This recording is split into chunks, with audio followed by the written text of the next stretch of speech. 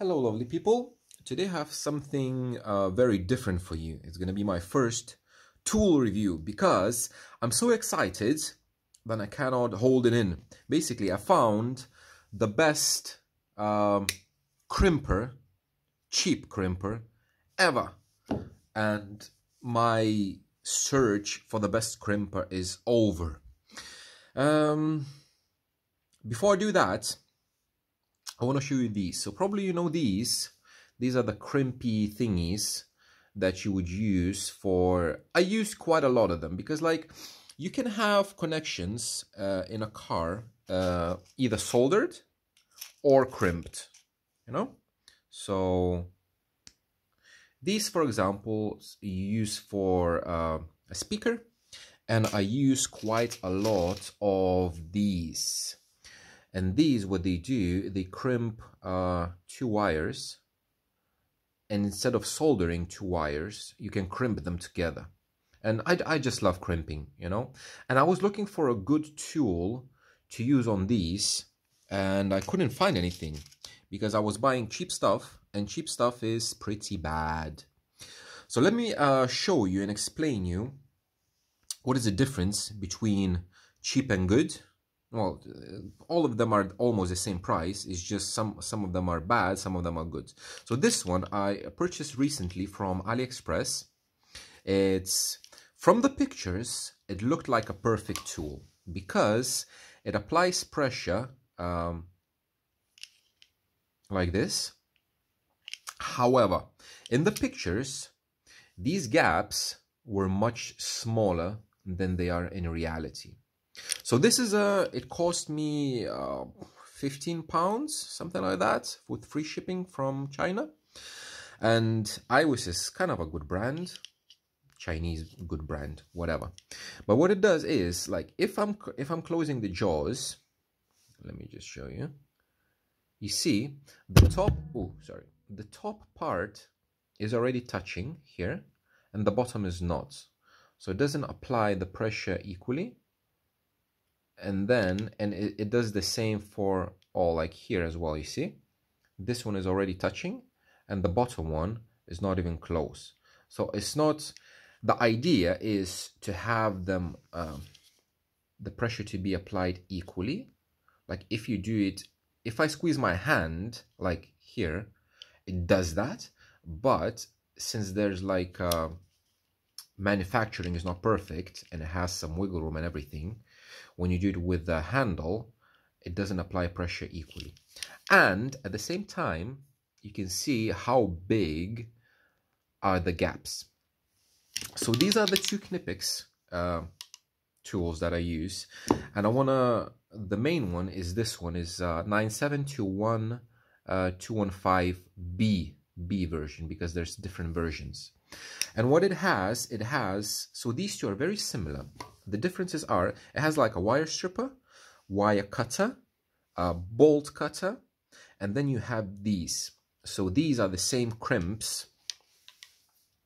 So this one is like this, and this one is like this. And what I want to want you to compare the gaps. So look at this gap, especially because the, the main that you're going to use is this one, the top one. So this is, uh, it's quite a big gap, yeah? On this one, there is a smaller gap, much smaller if you compare it like this. See? There's a much smaller gap, but there's still a gap. But on this one, there's extremely, extremely small gap.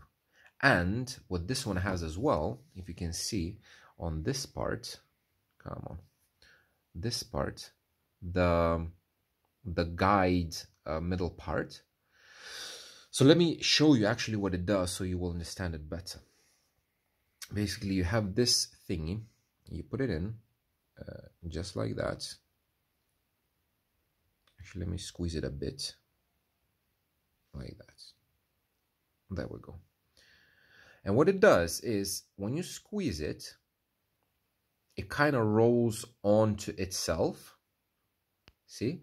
So if I'm going to try to show it in focus, be in focus, okay. If I'm going to squeeze it, it rolls and you see it rolls onto itself.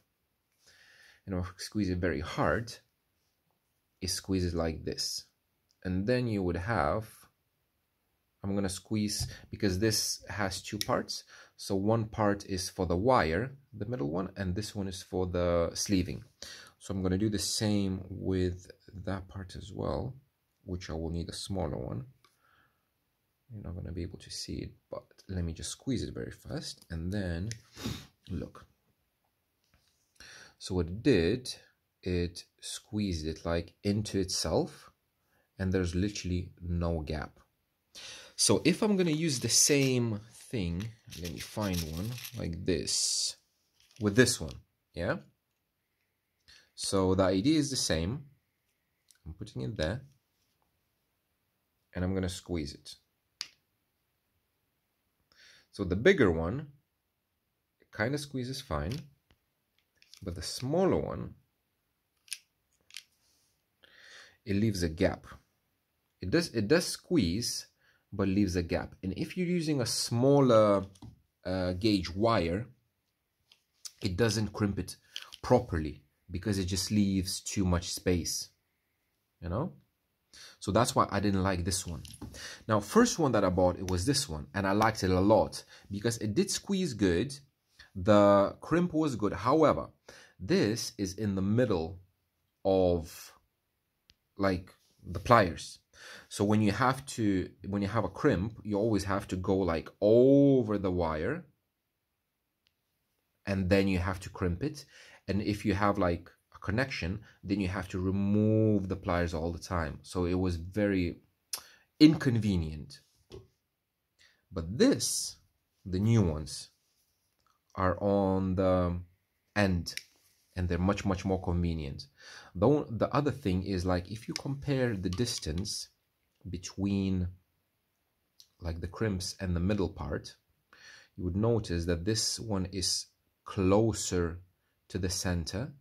And since the handles are almost the same length you have more um, leverage with these. And that means you need less pressure to apply in order to get a very good crimp so let me show you these ones because I love these thingies yeah? So these are for connect to connect to wires. So for this I'm gonna cut the wire. Just strip it. It's, it's like a regular normal stripping thingy. Strip one. Strip two and then this. I love these little thingies. You put the wire in there. Yeah like this. So it's just like that. So you crimp the wire with the first one and you crimp the sleeving with the second one. So let me do that. I'm going to put in this little thingy, just like that. And I could put the wire in. Sorry for the focus. It doesn't want to focus. Just like that. So I have the wire. Uh, you cannot see. The wire is inside. I'm going to crimp it just like that. And then you have the wire there's one strand out but then you have the wire perfectly crimped then slightly squeeze this and you crimp the jacket. Not too hard but at the end you have something like this. Yeah? And then you do exactly the same with the other one with the other wire that you're putting it in. So just like that put in, squeeze, put in, and cut on, squeeze. And didn't squeeze this one properly.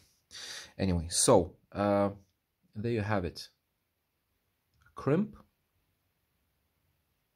And for me, I don't know, for me, I, I love these crimps. I don't really like soldering in the car like if it's outside the car, like RCAs or stuff, yes, but like crimps for me are much better. So I just want to say that if you want a good crimper, you can recommend your crimper that you have if you use crimpers.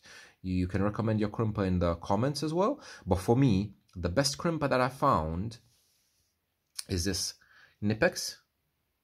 The model number again is 9721215B because other versions will be with uh, with these jaws, different one, different jaws.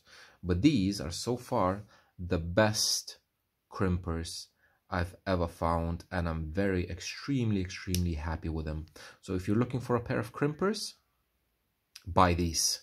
And please comment below if you have if you think that you have uh, a better pair because these cost like 20 25 pounds which is like I don't know 25 30 dollars which is extremely cheap compared to the automatic ones that you have but yeah, cool. Thank you very much for watching, guys. See you in the next one.